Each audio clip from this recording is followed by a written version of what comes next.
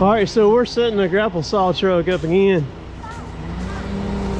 He's got these two outriggers down, putting the third one down. Does it come with those lights on it like that? Yeah, uh, when the Does- light when the light's on, you know that the power to the crane's on. Okay, gotcha. plus, just a little plus, a little safety. Gotcha. Cause that, how far out will that one extend right there? It'll come on out a good little ways, won't it? This one, this one just comes out a hair more than it it's out. I'm gonna set it down just to push it where I want it. It'll go to about right there. I got you. And on that one, you just barely, you barely set it down. You don't really want to pick up. You don't want to pick up with it. All right, so how do you level this one? So the best thing, I mean, Is what got? you got to try to do is get get level as far as putting some cribbing out to get you level if you're on a hill or something like that. Sure. But you got a little. Uh, Oh, there's your bubble right there. Okay, I didn't know if it if you'd held it down it leveled itself, but No, you just I watched wish. the bubble. Yeah, that'd be nice. No. um, so if you're on a hill and stuff, that's the only time it's a little tricky. You got to put you out a little crib and build it Yeah, because you bit. ain't got much tolerance there, do you? No, you want to keep it as level as you can. Because you got to be inside that bubble No, then, right It's there. actually if it's even touching the inside line, you're good. You're good. So Yeah. about three degrees or so, Yeah, something yeah, like that, something maybe. like that, yeah. Okay. All right. Let's roll, man. Yeah. Waiting on you. All right. Waiting on you. So, wait on me. so it, this, this is this is Michael Thompson. He's from up at Tupelo. Well, not well. Nah, I wouldn't say Tupelo. I'm from everywhere. You're from everywhere because you live over toward Pontotoc, right? I just bought a house in Ecru. I lived Ecru. in Guntown. I've lived in Corinth. Lived in Fulton. Lived. In You got to have the law. How, you got the law after you, right? Yeah, I do. Yeah. Hey, you gotta you gotta change my name on No, I'm not. But we got we got to do a little history stuff because this is pretty cool, and and uh, and and Lindsay said we had to do this too. So the the thing about it is, Michael used like last week you were still cutting hair, right? That's right. He, Last he used to cut her hair. That's why she's so beautiful. Look at her. That's right. That's what Michael said. That's why I used to. I'm not saying that you were ugly or anything, but I mean, I, he- I, I, you cut hair. How the heck do you go from cutting hair to taking trees now with a six hundred thousand dollar machine? Uh, it's been about a five-year process. Um, four or five years before that, my hair business got to such a good point where I had freedom. I had a lot of really good customers Uh-huh. that took care of me, and they worked with me with my schedule. And uh, I just got to a point in my life where I wanted to give back and, and go and help people. And my church, and uh, there's a guy in my church that had started this ministry years ago, and they want to start a rapid response part where they go out and help people after tornadoes.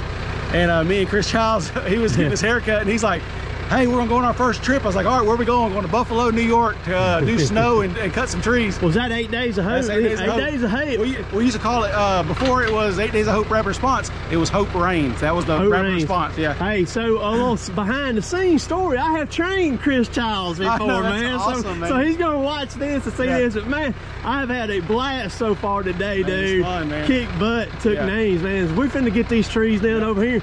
So we're gonna, I'm gonna kind of follow him through this whole process here and setting this thing up. He's got to put the grapple saw on now.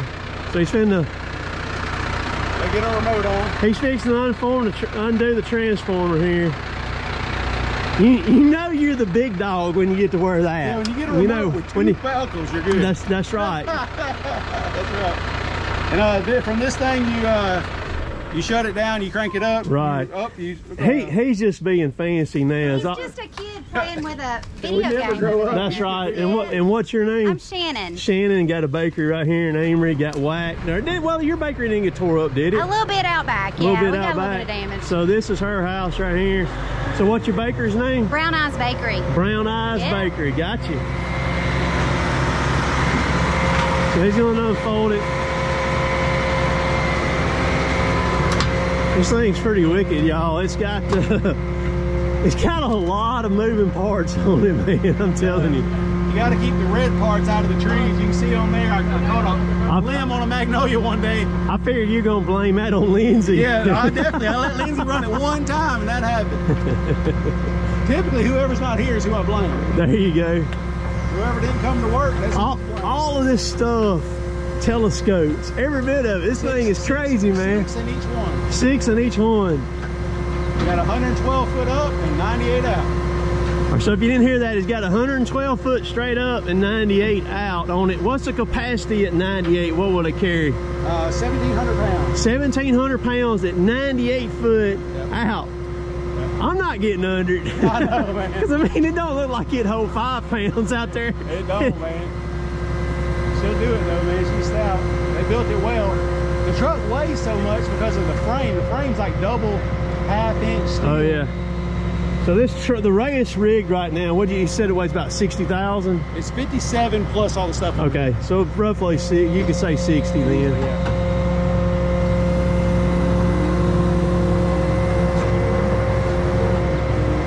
But yeah, this thing comes as a total package. It comes with tons of uh, extra remote. These remotes like four grand. They send you with an extra one. Oh, you so you get an extra one? They give you an extra one. They give you extra hoses, extra lines, extra bars, extra chains, extra. I love how it's got the connector plate. The faster, yeah. European stuff. I had a tractor that had that on it one time on the loader, and that was bad to the It's bone, man. fast, man. A lot of a lot of guys here don't like them because you can't find you, know, you can't find this at your local tractor supply. But if you go ahead and buy an extra one, has some extra parts, it's uh so fast. Oh, I got my hand on that. Easy, baby. But It's as easy as you slide in here and you hook your lines up. First,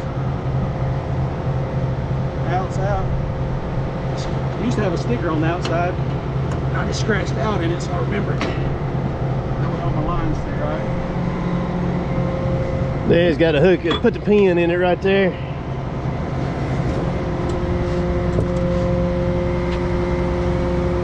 The only, the only thing on it that takes yeah just a, a little a little finessing is getting this pin lined up. That head's a little heavy to try to make. What does that head weigh? I think it's four, if I'm not mistaken, 480. 480. So Have you- your capacity is only 1300. You know. Have you put a clevis in there and worked with somebody off the hook or anything or whatever? Like doing, Uh, I've done, like I've done, I've done myself, and had the remote on me, and I've had a young guy that I've done a little bit. Yes. We're gonna we're gonna do some. Man, yeah, it's fun, man. I I watched you enough. I trust you to hang me up there, Hey, man. I'm gonna, hey, I'm gonna be careful, man. That's Oh, I know. my guys. I tell them, I was like, man, you know, if we're gonna work on the weekend, I go home and uh, try to eat good and get good rest because I got to run this over their heads, and I want to be safe and make sure Right. everybody, everybody's. Oh, right there. That ought to get it right there. And the good thing is, if you go a hair that way, you can You- pull this oh, way. you- okay, you yeah, good But you then. can't. But you can't. Yeah. Uh, it don't go the other way much. Now I got to square it up a hair. That's why you go ahead and hook the lines up so you can do this part. Yeah, So he's gonna slide that pin in there, and then we'll be ready to rock and roll. Yeah, it's gonna take a second. Get in there, girl. Whew. There it goes. So what kind of lock does it have on that nut? I know it's got a lock on it. So you it? got this, and then you got a, a pin that uh, goes in it. So it's got a just got a got Yeah. castle nut on it. Yeah. Is all it is. Yep. Okay, Yep. cool.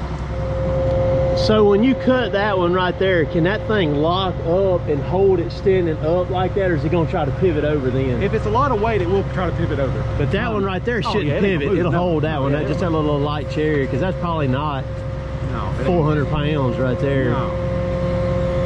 So the, you know, the key is just getting that thing squared up with the best you can. Sure. We're gonna tilt her down just a little. There she is. The battery might be weak. Change it.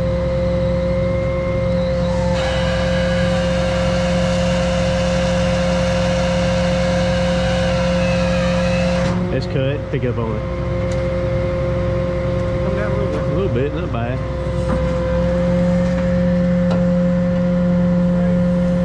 How long did it take you to kind of get proficient at it? I felt like the first few weeks was a little rough. You know, I felt like I just slow. I didn't feel like I was making money like I norm the normal way. I get up there, rig everything down, you know, run a lot of zip lines, um, you know, Port-a-Wraps on trees. I felt like I was a lot more efficient like that the first few weeks. I bet you trimmed everything at your house. Oh didn't you? yeah, oh yeah. Dude, I, I was just taking on crane jobs for nothing. For just, nothing. just wanting to play, yeah. Yeah. And hey, I had one. I had one family didn't let me do it because they're like, "How long have you had your crane?" I was like, "You know, two weeks." and they're like, "No, we don't want you around." And I was like, "But I can do it without the crane. You know, more just as efficient as anybody. Like I'm, I'm good." Well, that's what I asked Lindsay was, that was my question. I said, how long has he had it? Yeah. Because that tells a story Oh, right yeah. there. You know, so if you've had it a year and they hadn't come repossessed it, Yeah, you know, you've had to get pretty good at yeah, it, you know? yeah, yeah, yeah. Because they, uh, they don't give them away. Now they'll let you have one, but they'll come back and get it.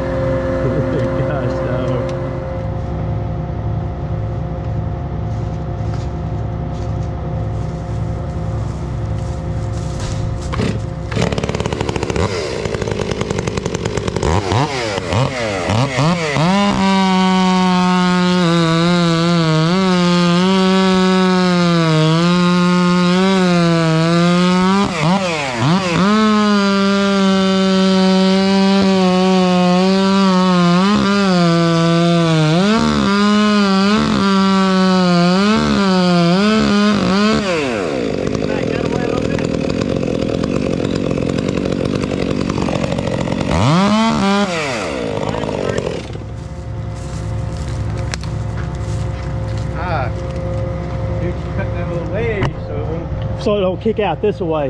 Yeah. See now he can go up and kind of swing over to the left now.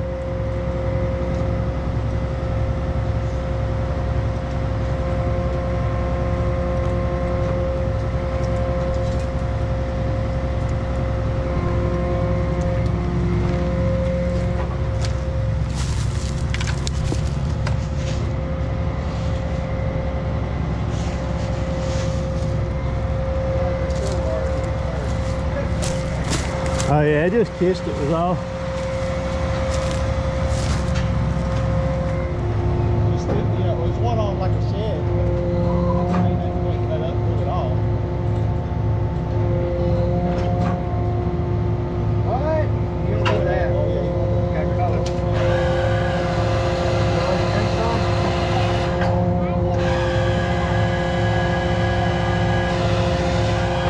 You just need to drink the ones that you got.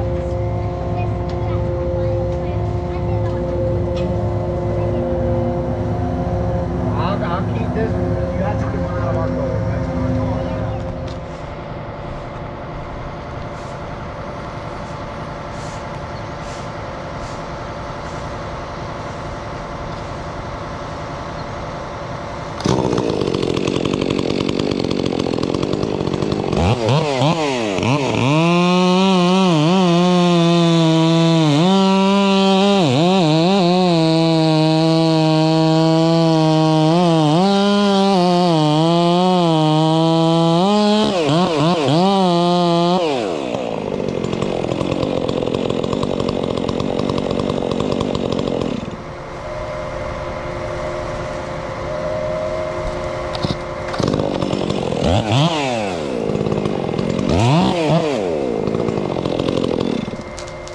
on this pick right here, he's taking just a limb or two out of these two trees, and we're about to take the whole tree right there above the roof line.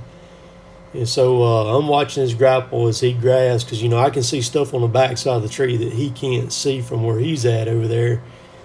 And once we get set up and I finish my second cut, watch how it goes.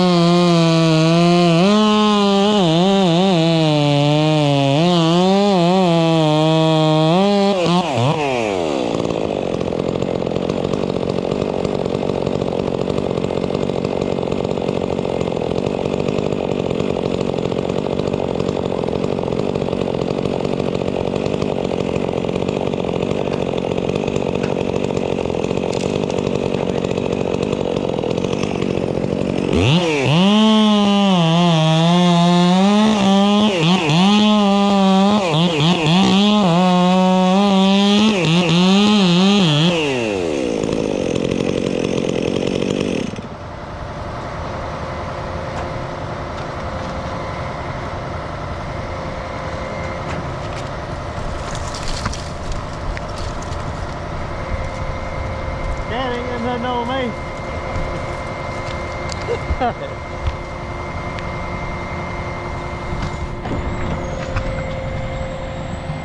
Cotontop be gone. That whole dang tree. oh yeah.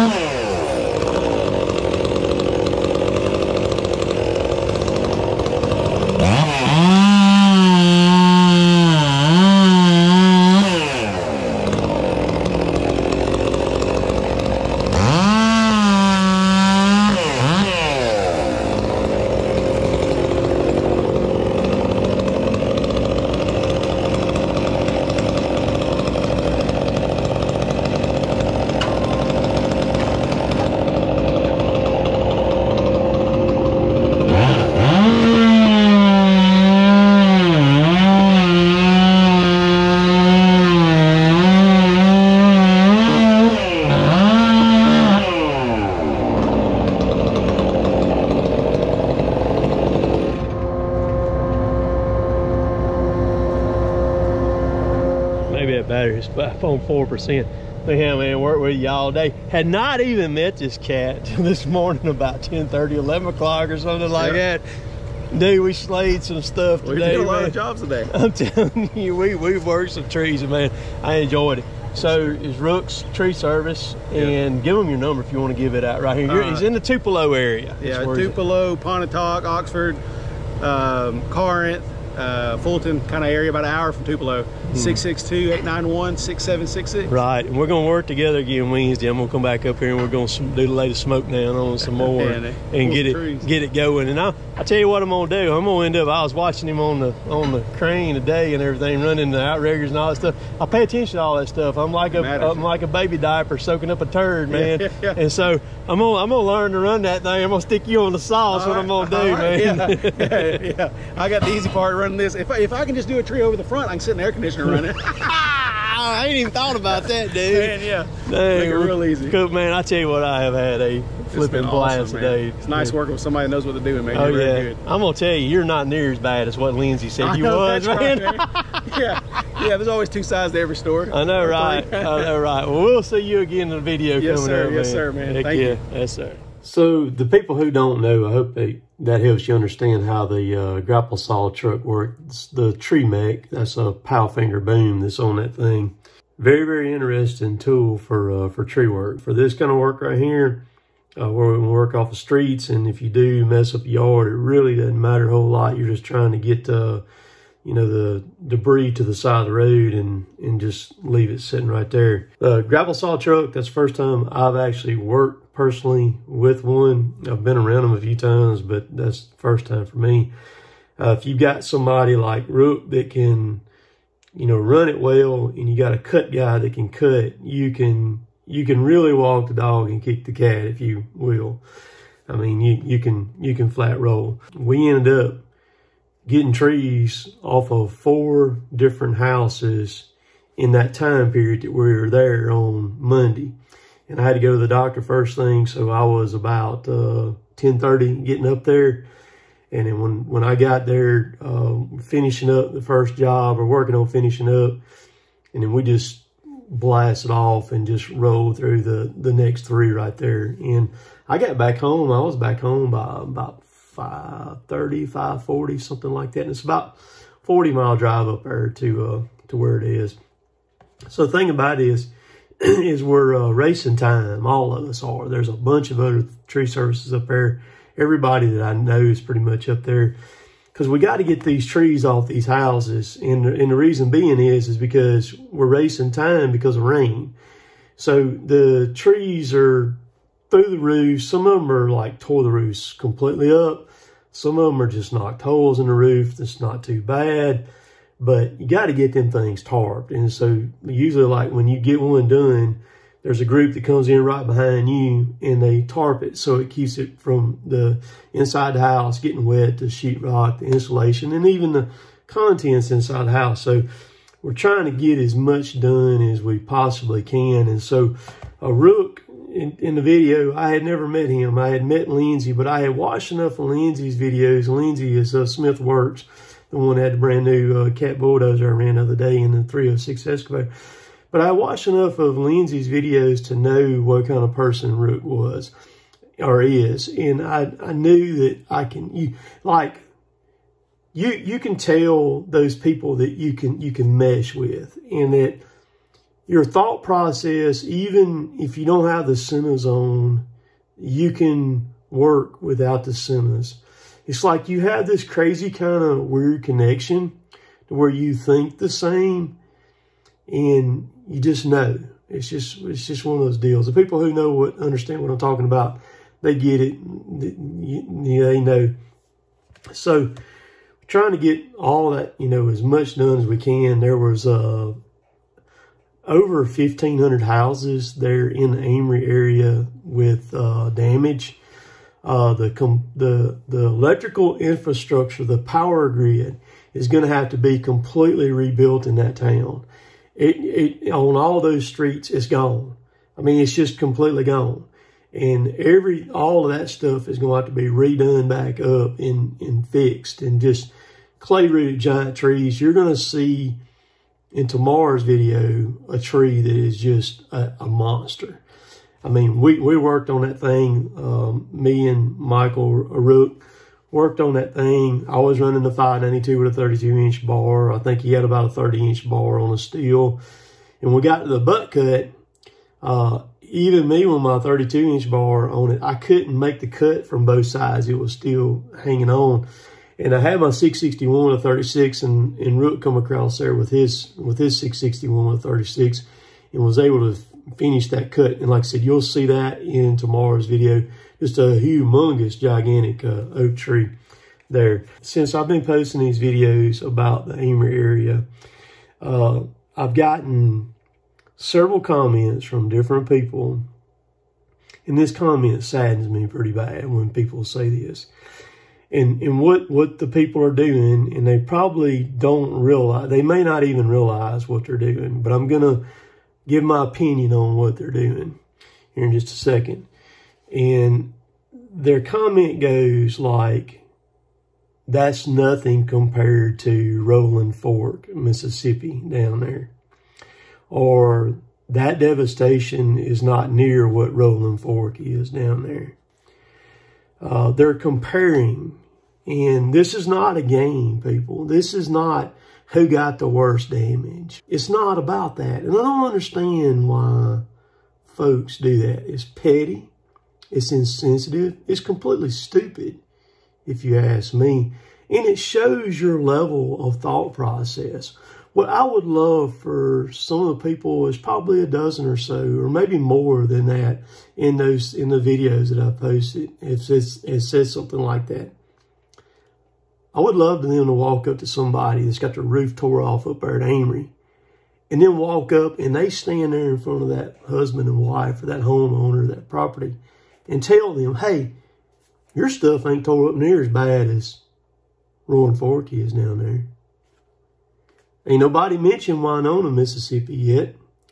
Uh, so Eight Days of Hope will be in Amory and God's pit crew, which is Chris Childs and that group, they're in Winona. They got there today, which is uh, Tuesday. They got there today. I know all those guys, man.